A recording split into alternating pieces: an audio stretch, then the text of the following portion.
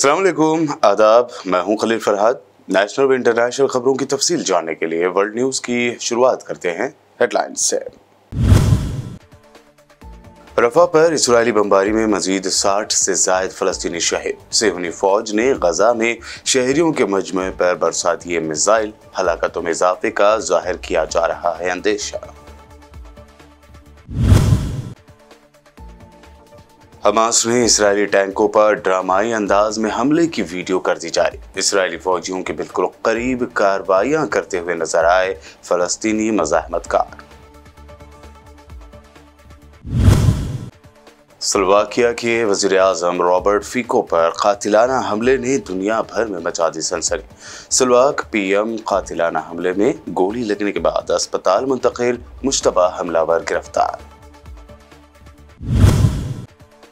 हिंदू मुसलमान नहीं करने का दावा करने के 24 ही घंटों में नरेंद्र मोदी ने फिर मुसलमानों को लेकर दिया गलत बयान। आपने कहा, मोदी जैसा झूठा पीएम हिंदुस्तान में क्या पूरी दुनिया में कभी नहीं हुआ? और दिल्ली के सीएम अरविंद केजरीवाल और एसपी सुप्रीमो अखिलेश यादव की ज्वाइंट प्रेस कॉन्फ्रेंस। केजरीवाल ने कहा, यूपी में अगर जीती बीजेपी तो योगी आदित्यनाथ को सीएम के ओहदे से हटा दिया जाएगा। ये हेडलाइंस बढ़ते हैं खबरों की तफसील की जानब। इसराइली फ़ौज के शुमाली गजा और रफा में हमलों का सिलसिला जारी है। सीवनी फ़ौज के हमलों के नतीजे में गुजशत 24 घंटों में मजीद 60 से ज़्यादा फ़लस्तनी शहीद, जबकि कई जख्मी हो गए। सिवनी फ़ौज ने गजा शहर में शहरियों के मजमे पर भी मिसाइल बरसा दिए, जिससे कई अफराद शहीद और ज़ख्मी हुए हैं। दूसरी जानब, इसराइली हमलों का रद्दमल में फ़लस्तनी मजाहमतकारों ने जवाबी कार्रवाइयाँ जारी रखी हैं।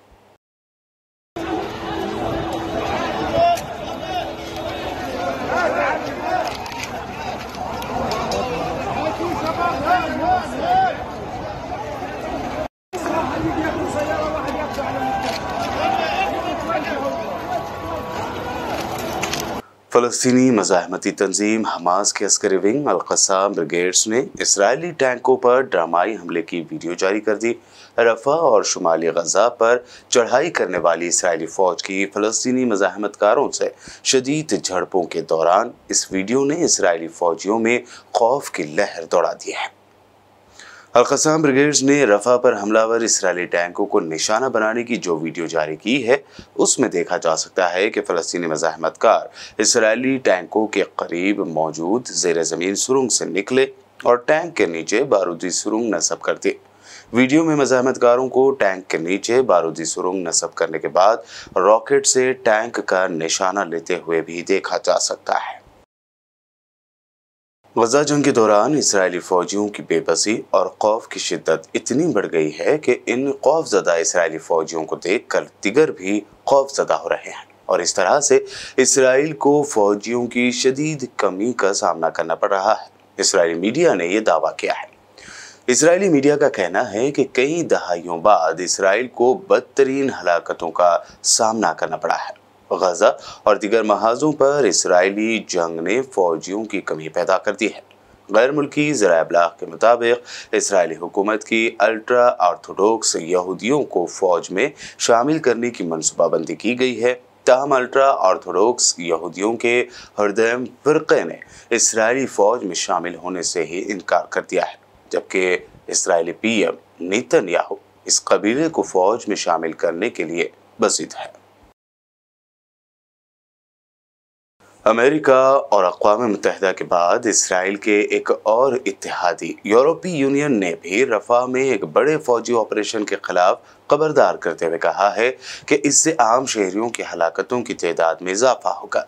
आलमी खबर रसा इदारे के मुताबिक यूरोपीय यूनियन की खारजा पॉलिसी के सरबरा जोसेफ बोरवेल ने खबरदार किया है कि अगर इसराइल ने रफा में अपनी फौजी कार्रवाई न रोकी तो उससे यूरोपीय यूनियन के इसराइल के साथ ताल्लुक खराब भी हो सकते हैं।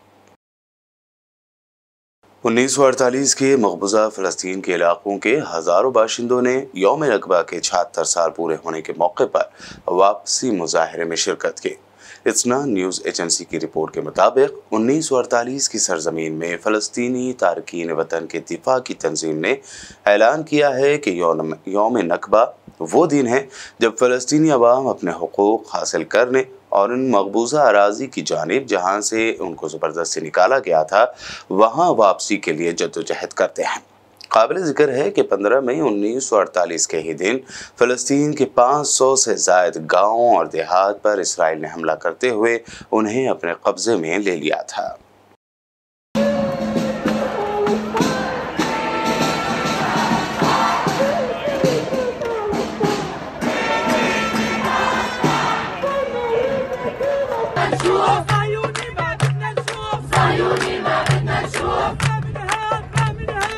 Happy Trump! Happy Trump!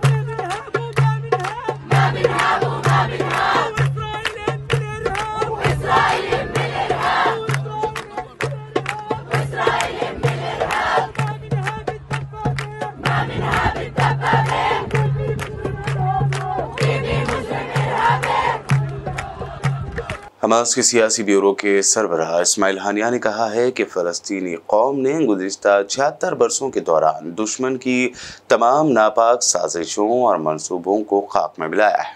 उन्होंने नकबा की छिहत्तरवीं बरसी के मौके पर एक तकरीब से खिताब में कहा कि नकबा के छिहत्तर साल के बाद भी फ़लस्तनी कौम एक नकबा के अमल से गुजर रही है। हमारे आबा अजदाद ने अपने वतन के लिए कुर्बानियाँ दी और उन्हें शहीद किया गया। उन्हें बेघर किया गया और उन पर जुल्म के पहाड़ तोड़े गए। फ़लस्तीनियों की आने वाली नस्लें अपने आबा व अजदाद पर ढाए मजालिम पर खामोश नहीं रहेंगी और अपनी आज़ादी के लिए कुर्बानियाँ देंगी। लबनान में इसराइली फ़ौज ने ड्रोन हमले में एक कार को तबाह कर दिया, जिसमें मौजूद दो अफराद की मौके पर ही मौत हो गई। अरब मीडिया के मुताबिक लेबनान, इसराइल सरहद के नज़दीक ड्रोन हमले में एक कार मुकम्मल तौर पर तबाह हो गई और उसमें खौफनाक आग भड़क उठे थे। कार के जले हुए मलबे से दो लाशें मिली हैं। हिजबुल्लाह ने तस्दीक की है कि ये ड्रोन हमला इसराइली फ़ौज ने किया था, जिसमें उसके दो फ़ील्ड कमांडर्स शहीद हो गए। हिजबुल्लाह ने अपने कमांडरों की हलाकत का भरपूर तरीके से बदला लेने का ऐलान कर दिया है।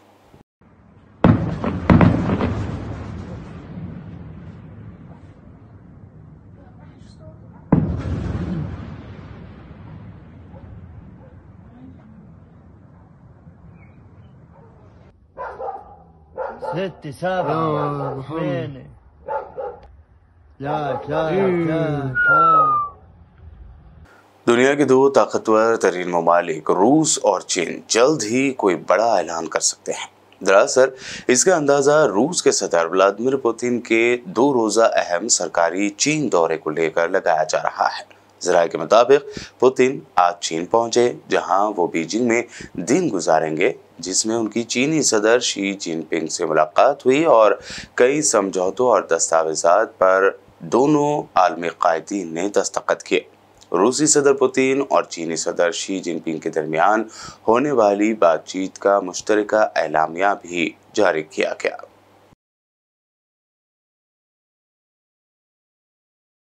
स्लोवाकिया के वज़ीर अजम रॉबर्ट फीको पर कातिलाना हमले ने दुनिया भर में सनसनी मचा दिया है। सुलवाक पीएम को इस कातिलाना हमले में गोली लगी है, जिन्हें जख्मी हालत में अस्पताल मुंतकिल कर दिया गया। आलमी मीडिया के मुताबिक बुध की सपहर हैंडलोवा कस्बे में प्राइम मिनिस्टर फीको पर कातिलाना हमला किया गया। उन पर फायरिंग की गई, जिससे वो जख्मी हो गए। डैंक एन न्यूज़ आउटलेट और सुलवाकियन टीवी स्टेशन के मुताबिक फायरिंग के इल्ज़ाम में एक मुशतबा शख्स को हिरासत में लिया गया है।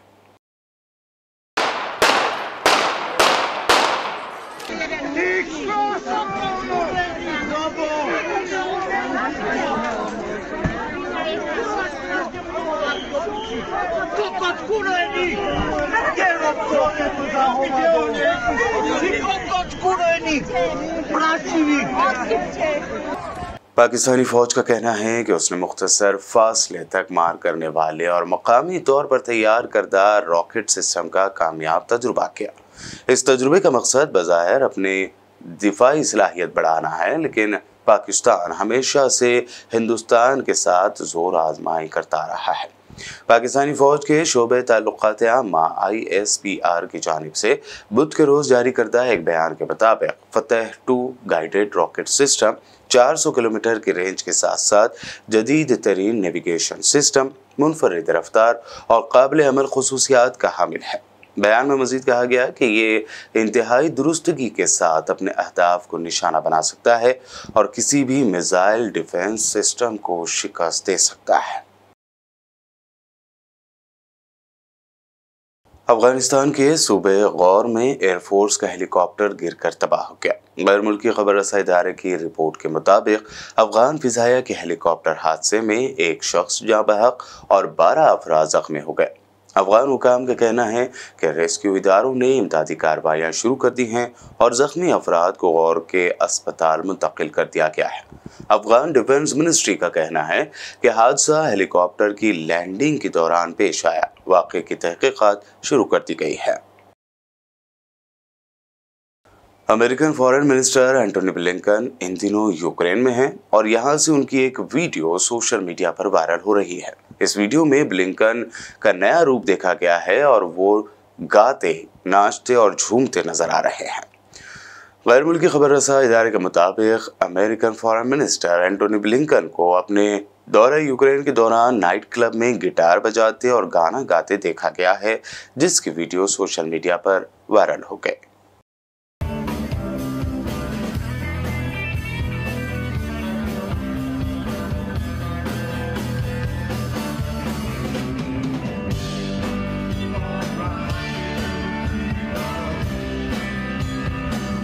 बुलेटिन में खबरों का सिलसिला लगातार यूँ ही जारी रहेगा। फ़िलहाल रुकते हैं छोटे से ब्रेक के लिए।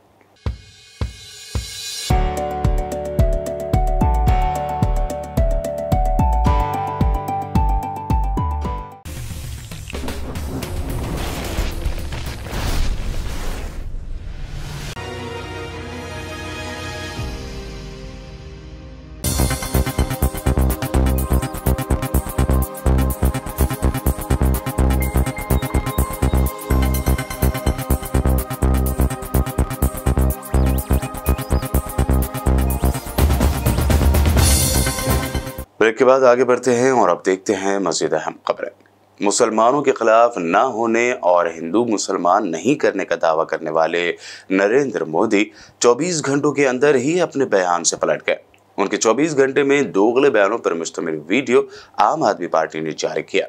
साथ ही लिखा कि नरेंद्र मोदी से झूठा पीएम, हिंदुस्तान में क्या पूरी दुनिया में कभी नहीं हुआ?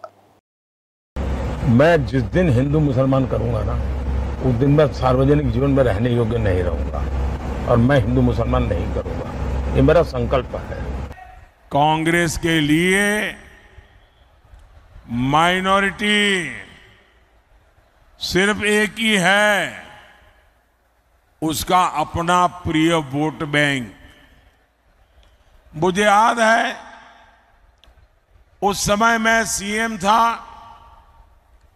और जब ये बात कांग्रेस ने उठाई थी तो मैंने उसका मुख्यमंत्री रहते हुए पुरजोर विरोध किया था। कांग्रेस उस समय चाहती थी कि देश के सारे बजट का 15 प्रतिशत सिर्फ़ मुसलमानों पर खर्च हो। समाजवादी पार्टी सदर अखिलेश यादव ने केजरीवाल के साथ प्रेस कॉन्फ्रेंस करते हुए कहा कि बीजेपी सारे जहाँ की सबसे झूठी पार्टी है और उनके झूठ दिन ब दिन बढ़ते जा रहे हैं। लेकिन अब आवाम उनके झूठ को जान गई है और उन्हें कबूल नहीं किया जा रहा है। बाबा साहब भीमराव अंबेडकर जी का दिया हुआ संविधान, ये हमें अधिकार, हमें न्याय दिलाता है। भारतीय जनता पार्टी की इस साजिश को आम लोग समझ गए हैं। और इस बार सबसे बड़ी हार भारतीय जनता पार्टी की होने वाली है। अभी तक तो हम ये कहते थे कि ब्रह्मांड का सबसे बड़ा झूठ बोल रहे हैं। अब लग ये रहा है हारने के बाद ये ब्रह्मांड का झूठ का विद्यालय खोलेंगे। दिल्ली के सीएम अरविंद केजरीवाल ने प्रेस कॉन्फ्रेंस करते हुए बड़ा दावा किया। उन्होंने कहा कि बीजेपी और पीएम मोदी अपने लिए नहीं, अमित शाह के लिए वोट मांग रहे हैं। बीजेपी जीती तो दो या तीन महीने में योगी आदित्यनाथ को सीएम के ओहदे से हटा दिया जाएगा। यही नहीं, ये लोग आइन को भी बदल देंगे। उन्होंने आगे कहा कि आदत शुमार बता रहे हैं कि 4 जून को इंडिया अलायंस की हुकूमत बनने जा रही है। आज लखनऊ में मैं उत्तर प्रदेश के सभी मतदाताओं से इंडिया गठबंधन को भारी भरकम वोट देने के लिए, भारी मात्रा में वोट देने के लिए अपील करने के लिए आया हूँ। मैं चार बातें रखना चाहता हूँ। पहले चारों बिंदु बता देता हूँ, फिर उसको डिटेल में एक्सप्लेन करूँगा। पहला ये कि ये चुनाव भारतीय जनता पार्टी मोदी जी अपने लिए वोट नहीं, अमित शाह जी को प्रधानमंत्री बनाने के लिए वोट मांग रहे हैं। दूसरी बात, योगी आदित्यनाथ जी को अगर ये लोग जीत गए तो योगी आदित्यनाथ जी को दो से तीन महीने के अंदर उत्तर प्रदेश के सीएम पद से हटा दिया जाएगा। नंबर तीन, इन लोगों की पूरी तैयारी है। अगर ये लोग जीत गए तो संविधान को बदल के एस सी और ओबीसी का रिजर्वेशन खत्म कर दिया जाएगा। और नंबर चार, जो आंकड़े अब देश भर से आ रहे हैं, वो ये दिखा रहे हैं कि चार जून को इंडिया गठबंधन की सरकार बनने जा रही है और एनडीए को और बीजेपी को बहुत कम सीटें मिलने जा रही हैं। यूपी के रायबरेली में राहुल गांधी के लिए इंतखाब मुहिम के दौरान प्रियंका गांधी ने गायों के तहफ़ में नाकामी के लिए योगी और मोदी को जिम्मेदार ठहराया। उन्होंने कहा कि ये लोग गौ माता की बात करते हैं लेकिन यहाँ की गौशालाओं में गाय के लिए चारा पानी और छत तक नहीं है। हमारी जहाँ सरकार थी छत्तीसगढ़ में वहाँ यही आवारा पशु की समस्या थी। यहाँ ये लोग कहते कि ये धर्म को बड़ा मानते हैं, गौ माता की बात करते हैं। यहाँ की गौशालाएँ देखी हैं? मैंने देखी है। चारा नहीं है, पानी नहीं है, छत नहीं है, छप्पर तक नहीं है। सारी गाय धूप में लेट के मर रही हैं। खाने को नहीं है, पीने को नहीं है। मैंने ऐसे वीडियो देखे हैं जहाँ कुत्ते खा रहे हैं, उनके घाव। चालीस, पचास गाय मर गई हैं। उनको बुलडोजर से दफनाया जा रहा है। ये दो साल पहले का वीडियो है। मैंने देखे हैं सारे वीडियो मैं गई भी थी उस समय गौशालाओं में। देखने के लिए कि क्या हालात है। आप कहते हैं आप धार्मिक हैं।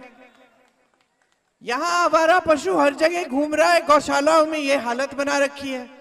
छत्तीसगढ़ में हमारी सरकार थी, यही समस्या मैं बताती हूँ कैसे हल की। गौशालाओं को मज़बूत कर दिया। महिलाओं को गौशालाओं में रोज़गार दिया। जो दूध मिल रहा था, उससे महिलाओं को सिखाया कि किस तरह से खोया बनाना है, दही बनानी है, मिठाई बनानी पनीर, सब कुछ, कि किस तरह से उसको बेचा जा सकता है। महिलाओं ने बेचकर अपनी आमदनी बढ़ाई। स्वयं सेवा समूह को जोड़ दिया गौशालाओं से। सरकार ने ये कहा कि हम, सुन लीजिए, सरकार ने ये कहा कि हम गोबर खरीदेंगे। गोबर खरीदी प्रति किलो के हिसाब से। जनता ने सोचा कि अगर सरकार गोबर खरीद रही है, हम हमारा पशु एक आध रख लेते घर में। हमारी आमदनी हो जाएगी। हो गई। तो समस्या हल हो गई, क्योंकि नीति सही थी। इंडिया अलायंस से इख्तलाफात की खबरों के दरमियान बंगाल की सीएम ममता बनर्जी ने बड़ा बयान दिया। उन्होंने कहा कि वेस्ट बंगाल में उनका कांग्रेस और सीपीएम से कोई लेना देना नहीं है, लेकिन दिल्ली की सियासत में वो इंडिया अलायंस के साथ बड़ा रोल अदा करने को तैयार है। ममता बनर्जी ने कहा कि वो बाहर से सपोर्ट करके इंडिया अलायंस की हुकूमत बनाने में अपना किरदार अदा करेगी। और अब आखिर में हेडलाइंस पर डालते हैं एक और नज़र। रफा पर इसराइली बमबारी में मजीद 60 से जायद फलस्तनी शहीद। सेहनी फौज ने गजा में शहरियों के मजमु पर बरसाती दिए मिसाइल, हलाकतों में इजाफे का ज़ाहिर किया जा रहा है, अंदेशा। हमास ने इसराइली टैंकों पर ड्रामाई अंदाज में हमले की वीडियो कर दी जारी इसराइली फौजियों के बिल्कुल करीब कार्रवाइयाँ करते हुए नज़र आए फलस्तीनी मजाहमतकार।